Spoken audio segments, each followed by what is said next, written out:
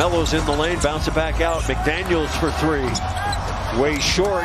Facu's got it. Hook pass up to Gordon. And Gordon runs it right in there for a quick two. The LaMelo Ball is averaging 16, 6, and 6 on the season. McDaniels pass intercepted. Nuggets have four on one. Rivers to Porter. Position in fast break situations because their defense has been so active. Look at that closeout from Aaron Gordon there. Gets a hand on it. Facu's open. He shoots the three. Short.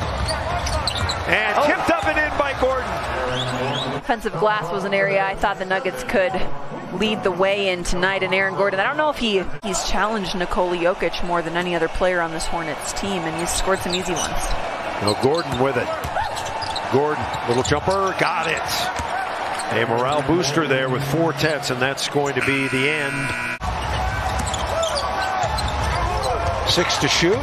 Gordon got a straight line drive. Oh, and he throws it down, apparently. How about this pass from Jokic to Aaron Gordon and just no hesitation, driving to the hoop. And I'm not going to let there be any doubt this ball is going through. Good night so far. He's in double figures. Gordon for three.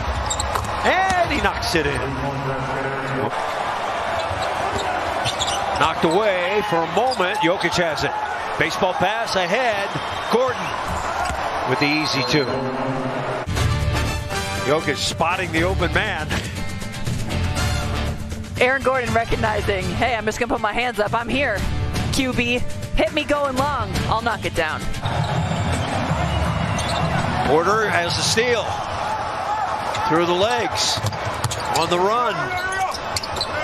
Rivers for three. Yes.